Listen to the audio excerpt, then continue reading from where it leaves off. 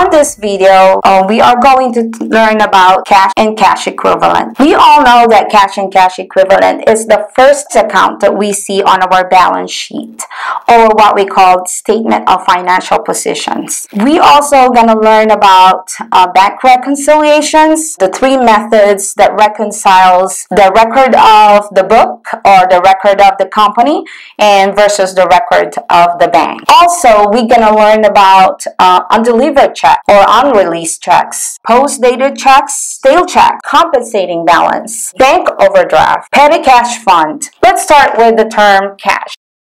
Cash is simply the money of the company. The term cash has three components.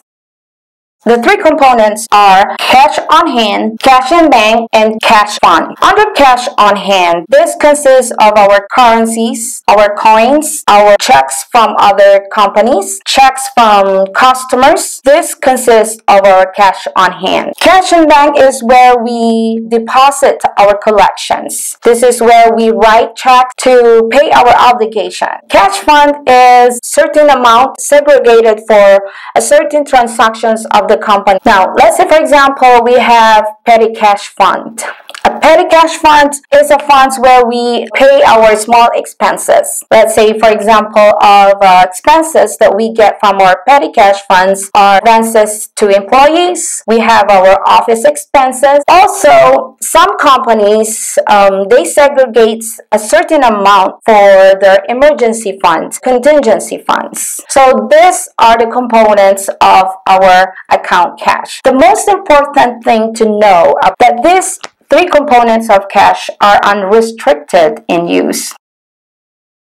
Otherwise, if restricted in use, they cannot be classified as cash. Let's say, for example, a cash on hand restricted for purchase of an equipment. Then we cannot classify that amount segregated or restricted for the purchase of the equipment. Then we classify that cash as non-current assets. Another example, if it's restricted for restricted for payment of non-current liability as a non-current assets. Let's talk about cash equivalent.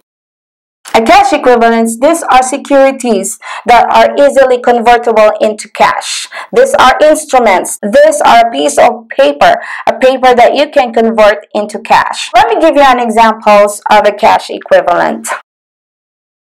These are the examples of our cash equivalent. Bangko Sentral ng Pilipinas treasury bills, money market funds, time deposits, commercial papers, preference shares with specified date of redemptions. The most important thing you have to know about the securities to be able to classify this as cash equivalent that this security should fall into the three-month rule. Alright, the three month rule is the measurement between your purchase date up to your maturity date. Let me explain that further here. As an accountant, we prepare the financial statement of the company and we date those financial statements at the end of the year, December 31st, unless otherwise the company prepares it in some other days. So December 31st is our what we call financial statement date. Let's say this one is our maturity date. And let's say, for example, right here, we have our purchase that's our purchase date. To be able to classify these instruments under the cash equivalent, they should fall into three-month rule. Let's say, for example, our maturity date is February 14 and our purchase date is, let's say, for example, November 31st. So if it falls into the three-month rule, then we can classify that as cash equivalent. Otherwise, if it doesn't fall into the three-month rule, then we cannot classify that as a cash equivalent. Let's say, for example, we purchase a commercial paper on July 1st. July 1st up to February 14, that is more than three months. So we cannot classify this commercial paper as cash equivalent. Sorry, if the securities are purchased within the three months, then we classify that as a cash equivalent. Below three months or three months, Okay, so what if we purchase it more than three months? If it's more than three months, If it's more than one year, then we classify that security as long-term investment.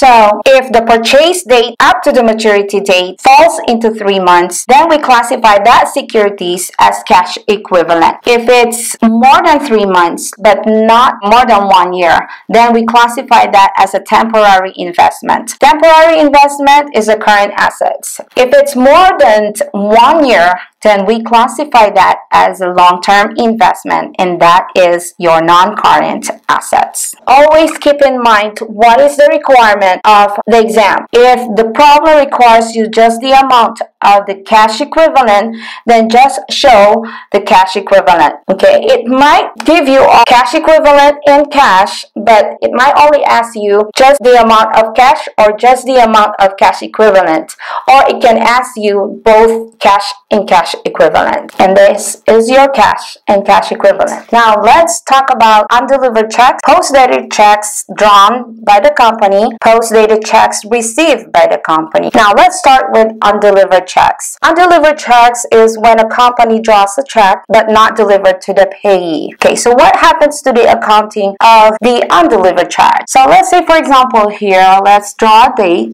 On December 17, the company draws the check but delivers the check, let's say for example, January 5th where the company delivers the check. This is your delivery date. Every time a company draws a check or writes a check, the company will record that transaction. So when the company draws the check on December 17, the company enters an account, debit accounts payable, and credit to cash in bank.